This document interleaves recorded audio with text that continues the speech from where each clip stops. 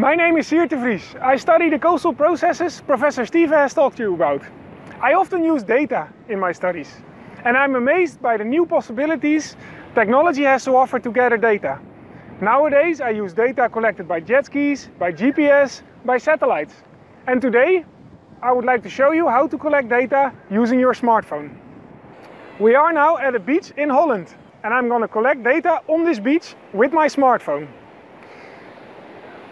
I'm going to use the camera of my smartphone to take a couple of photos in alongshore direction of the coast and in the cross-shore direction of the coast.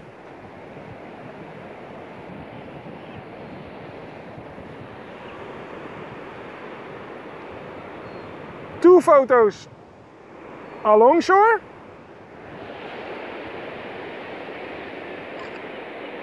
and two photos in the cross-shore.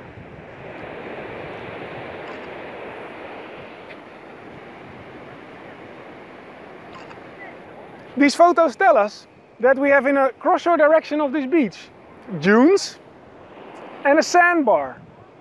In a longshore direction we have a quite a homogeneous beach profile with in the far southern end a harbor and in the far northern end uh, the beach continues. In addition to these global characteristics of the beach I would like you to make a photo of the sediment surface if sediment is on your, along your coastline.